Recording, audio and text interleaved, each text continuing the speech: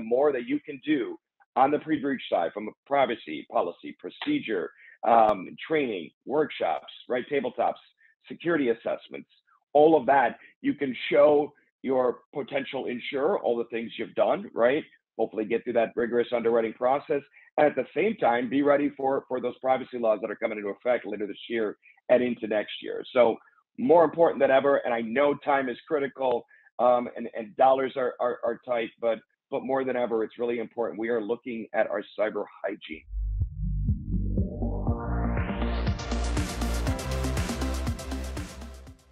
Hey everyone, uh, this is Vinny Sakore from NetDiligence. It's a pleasure for uh, us to have uh, Dom from McDonald Hopkins, and uh, Dominic and I have known each other for oh, gosh, I don't know, almost uh, probably five years. You know, you know, at least five years, I would I would say. And he's with McDonald Hopkins, and they're one of our platinum breach coach firms.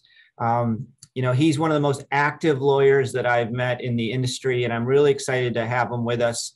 And uh, we're going to talk about uh, some trends that they've seen, as well as where where he thinks things are going to be going in 2022. And and Dom, I just thought maybe let's just start by having you just take a minute, introduce yourself, talk about where the firm is now. I mean, it seems like you're constantly adding lawyers and the team's growing. So I'd love to just kind of get a status update on where the firm is. Great, thanks, Vinny. Great, great to see you, and thanks everybody for uh, for tuning in here. Uh, I'm Dom Paluzzi. I co-chair our data privacy and cyber practice at McDonald Hopkins. And yes, Vinny, definitely steady growth for for our team. Uh, the nice thing, uh, one of the nice things, I guess, coming coming out of COVID is we're not restricted to our physical offices, so we've really uh, increased uh, both in, in capacity and and and geographical areas. So um, really excited about some of our new additions, including uh, a former assistant attorney general from the state of Indiana, which uh, we all know in incident response. They are the most active attorney general. So really excited to have have Heather on our team. Um, and, and really some really great additions and, and more to come real soon too. So we're really excited and ready for another uh, wild ride in 2022. Wow, that's great. Um, yeah, everybody everybody loves working with Heather, so that that's a huge win for the firm to to have her join the team. Um, so I guess before we move on to 22, can you just kind of give me an update on? Um, I mean, you have so many areas of your firm that are active, but what were some of the most active areas of of the of the firm in terms of what you saw, and maybe the last half of the year? You know, at the end of the year. I mean, it. Sure. It's crazy how in cybersecurity one month is like a year because so much happens. but right. but why don't we just start? Why don't we just start there? Right, right, yeah. I, I have been telling you know everybody that uh, while uh, a lot has changed, a lot of it has has also remained the same. And if we look at the last part of 21, uh, much of that was true, right? Obviously, ransomwares, right? Uh, we hear all kinds on that. That's that's what makes the news. That's what's interesting and fascinating. Uh, but we saw real uptick in in the BECs and the wire fraud towards the end. Um, and then and then the third is certainly the third party vendor breaches and, and, I'll talk about a little bit more of that to come in, in 22 here uh, coming up. But I, I, definitely think that is um, going to be a, a, true trend or the third party breaches. You know, we can have everything safe and secure under our own roof, but we pass that sensitive data on to a third party uh, and they have a ransomware attack, they have some sort of compromise or malware. Um, and we're seeing it really affect a lot of downstream clients. So, um, tremendous increase in, in exfiltration of data, um, the, the, the boldness of the threat actors, right? The calling people, harassments, posting on social media. I remember years ago, right, we were able to really keep data security incidents quiet until we really had all of the facts. We're able to, you know, really have our forensics completed, our notification and communication plan set. And then at that time, and we were able to sort of really gauge and control that, we'd go forward. Now, you know, you're down and out, and threat actors are posting about you um, right away and going onto social media and reaching out to your employees. Um, so it, it's caused, you know, uh, even more concern uh, amongst an organization who is trying to deal with, you know, the hour by hour, minute by minute triaging of these types of incidents. So more important than ever is to have the team assembled ahead of time while things are calm, practicing incidents, tabletop exercises, improving that incident response plan, getting that team together. And it's challenging, right? We're not all under the same roof anymore. Everybody's working remote or some hybrid environment. Um, so, got to make sure we're practicing as a team um, because uh, it, it's really more important than ever as these uh, security incidents are becoming more and more complex. You know that that actually brings up a great point. Uh, I mean, I remember I remember when I was doing incident response, we used to bring in crisis communications kind of near the end.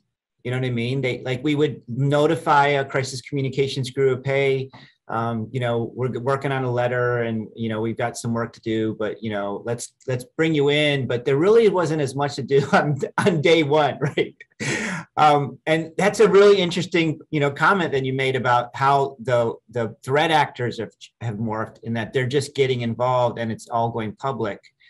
Can you talk a little bit more about that? Like, do you find that your firm has to get involved in crisis communications earlier because your clients just weren't ready for it to go public day one?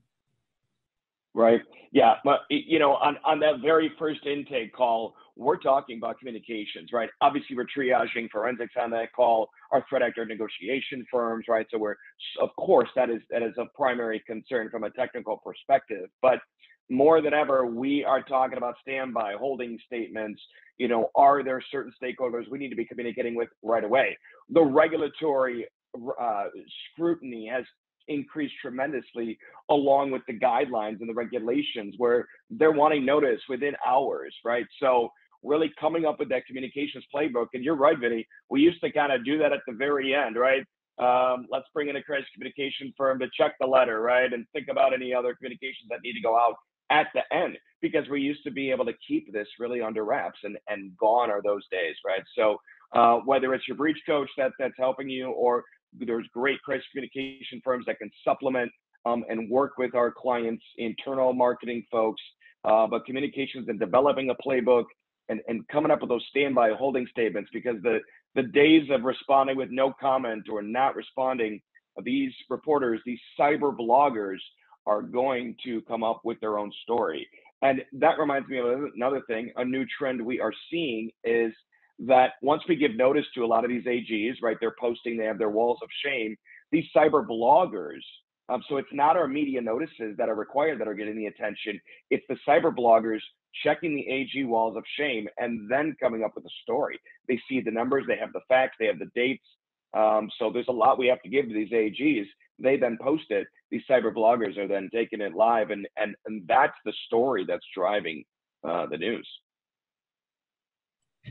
Yeah, yeah, you know, I hadn't considered that. Um, what's the what what's the how would you describe the regulatory environment? Because I was talking to a friend of mine, and one of the things that um, I heard, and I haven't been able to validate, so maybe you could kind of validate for me, is before we kind of used to know who we were going to be dealing with when there was an incident, but now because things get, get pushed so quickly, it seems like there's more regulators involved than before. You know before if it was a healthcare case you knew you're going to be dealing with you know hipaa and, and it was pretty contained but now it just um, I, have almost heard the term wild wild west when it comes to like which regulators kick in would you agree disagree like you know yeah it's funny i i, I used that term with my team just yesterday i said the regulator bodies it is wild wild west um, not only amongst the state ags right? The usual suspects we're still hearing from, right? Indiana, Massachusetts, but there are new ones coming out of the woodwork, right? And a lot of the AGs have now really streamlined their reporting process,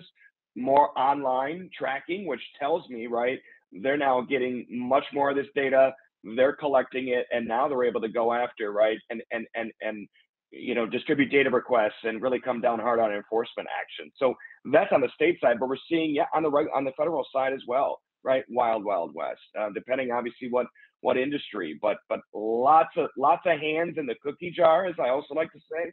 Um, you know, we're not seeing the ultimate fines and penalties, assuming that you comply with their requests, right? So more data requests, more, you know, what are we doing moving forward? Safeguards, policies, procedures, training, right? Um, patching, risk assessments, all those things. Um, the AGs are, are, and all of the regulators, they're they're getting um, a, a, a, lot more in tune with what they need to be asking, um, and they're asking it a lot more quicker. Um, so we're getting those requests right away.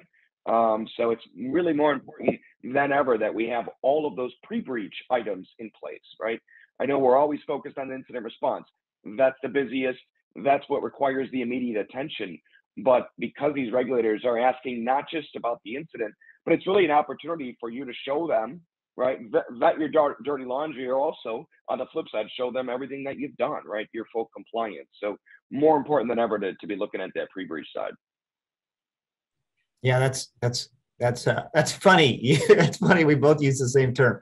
Um, well, I want to shift a little bit because we we don't we only only have about a few more minutes, so I'd like to shift to um, to 2022. And and Dom, I always like asking. I was telling you know the team, I always like asking you questions like this because you're you're actually you're actually very active and so you see a lot even um, some of my friends at the fbi that know you they they talk about how how how active your firm is and the, the amount of experience you have. And so, I mean, what do you see going forward in 2022? You know, we're almost a full month in, and so you you probably seen Microsoft released 96 patches on Patch Tuesday.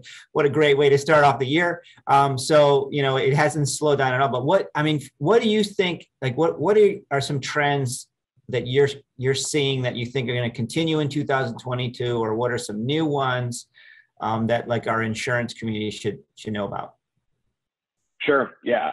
You know, the zero days, the, the patching, the log4j, right? The ransomware, email compromises, all of that's expected. And, and, and that, you know, in the first couple weeks here, uh, no surprise. That's all, all maintained. But um, third party breaches, um, I'm going to continue to harp on that. Um, as we all know, what a, a gigantic uh, HR vendor, right, goes down at the, at the end of the year uh, is still down, causing gigantic business continuity issues. Um, they're still in the forensic investigation. So, more than ever, it's really important that we are doing an assessment of what third parties house our data, which ones have the sensitive PII, and and what are we doing to to make sure that that they have you know safeguards, that they have the endpoint monitoring, all the things that you know you as an organization are worried about and have implemented well, again, once you take that data from your secure environment, passing it down to a third party, um, you know, off to the races, right? what are they doing? Uh, what kind of security do they have in place? What kind of timing requirements do they have, right? Can they wait a month? Can they wait two months to give you notice about an incident? That shouldn't be the case, right? More and more regulators are looking and and and saying, hey, the, the vendor's timeline is your timeline. You assume that, right? You selected and contracted with this vendor. So the fact that the vendor waits 30, 45 days and you have a breach notice statute of 30 days, well, we're going to hold you to that, right? So it's really, really important. We're looking at our contracts, our provisions. And I realize sometimes these vendors are mammoth, right? So you have a bit of a disparity between in negotiation. Um, but where you where you can negotiate those contracts, please do. And for the ones that you can't, please make sure you're getting as much, you know, on the assurance side of, of what they have in place uh, from a from a from a safeguard, security, endpoint monitoring, and patching, and multi-factor, all those things, right? Because again, it's still a huge misconception. 15 years later, we've been de- I've been dealing with this. There's a huge misconception. Oh, the vendor had the breach; it's all on them. That's not the way it works. That's not how the contracts work, and that's not how the law works, right? You are the data owner. You take that data in and it's up to you, right? Whether whether the vendor, you know, uh, handles the notice and the breach, great, uh, but you're still obligated. You're still on the hook as that data owner, as the covered entity. So really important uh, that we're vetting our, our third-party vendors that have access to either our critical systems, those managed service providers, or, or those really important vendors that have all of our sensitive personal information. Thanks, Dom. Um, wow, I wish I wish we had like 20 more minutes because I have like all these follow-up questions from what you just said. But I think maybe where we'll end is um, is how about one takeaway for the you know the insurers, the brokers, um, you know, just as they kind of move forward in 2022. Sure. Obviously, we have a hardening, you know, cyber market, uh, a little bit more rigorous underwriting process, and not that my my team handles any kind of coverage issues, but of course we hear from our insurance, right? So that and you couple with the laws that are coming into effect in 22, 23 on the pre-breach, on the information security side, it's almost like the worlds are coming together on those two fronts, right? And at the end of the day, what does that mean? So for our insured clients, that pre-breach side, right? Not to sound like a broken record, but the more that you can do on the pre-breach side from a privacy policy, procedure, um, training, workshops, right? Tabletops, security assessments, all of that, you can show your potential insurer all the things you've done, right? Hopefully get through that rigorous underwriting process. And at the same time, be ready for, for those privacy laws that are coming into effect later this year and into next year. So more important than ever. And I know time is critical um, and, and dollars are, are, are tight, but, but more than ever, it's really important. We are looking at our cyber hygiene. Going to help you on the incident response side too, and hopefully avoid some breaches. Thanks, Dom. Um, really appreciate your time. Just a quick reminder, everybody. You know, you know, Dom's with McDonald Hopkins. Um, they're one of our platinum level breach coach firms, one of the best firms in the industry that I've, I've worked with, and um, and and Dom's definitely an expert in the field. So, so Dom, you mentioned those privacy laws coming up in the future. Um, you know, that's that's something I think everybody uh, should monitor, and it seems like it's gonna it's gonna change. It's gonna be another like change the game kind of moment in our industry, and so I think that's really important. Um, Dom, I guess I'll see you in person, hopefully, at one of our events. We're back for sure. business, so to speak, and and so hopefully it'll be somewhere warm because I don't know about you, but it, right. it, has been a cold winter. Um, Same so, here. Same here in Detroit. All right. Thanks, everybody. Really appreciate you, Dom, and uh, and for our NetDiligence community. Have a great day.